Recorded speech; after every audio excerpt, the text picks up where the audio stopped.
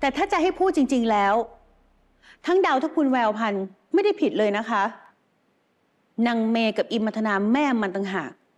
ที่เสือกไม่ดูเงาตัวเองทำตัวเทียบเท่ากับเรา นี่ขนาดส่งคนไปหลอกอิมัทนาทำธุรกิจเจ๊งตั้งหลายรอบ เป็นหนี้ตั้งหลายล้าน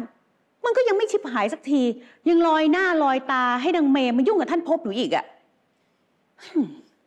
ยิ่งพูดก็ยิ่งคิด แล้วก็ยิ่งหงุดหงิดแทนพี่ปานะคะ จะมาหงุดหงิดแทนพี่เรื่องอะไร เอ้า ก็หงุดหงิดที่อิมมันธนา มันแย่งพี่ชายแสงพี่ชายของดาวไปจากพี่ปายังไงล่ะคะ ทั้งที่พี่ชายของดาวกับพี่ปารักกันมาตั้งนานน่ะ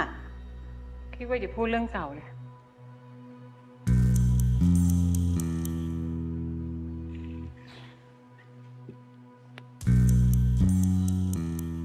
ดาวก็ไม่ได้อยากจะพูดเรื่องเก่าหรอกนะคะ แต่พอดาวเห็นนางเมทีไรอะก็ทำให้นึกถึงเรื่องเก่าทุกที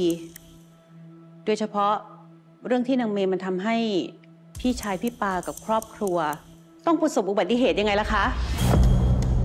พี่บอกให้หยุดพูดไง ถ้าเมาก็กลับบ้านไปนอนไปป้าดาว ดาวขอโทษค่ะ แต่ดาวแค่อยากจะบอกว่า ที่นางเมย์มันทำขนาดเนี้ยเพราะมันเห็นว่าพี่ปาไม่เคยทำอะไรมันยังไงคะ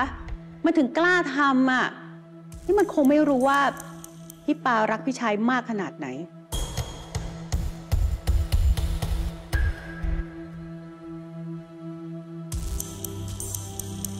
เนี่ย ดูสิคะ ผ่านมาตั้ง 20 ปี พี่ปายังตั้งรูปครอบครัวพี่ปรเมศข้างรูปพี่ปาอยู่เลย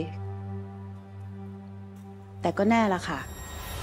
ที่พี่ปาจะไม่มีวันลืม เพราะพี่ปาจะไม่มีวันนี้ ถ้าไม่มีพี่ปรเมศใช่ไหมคะ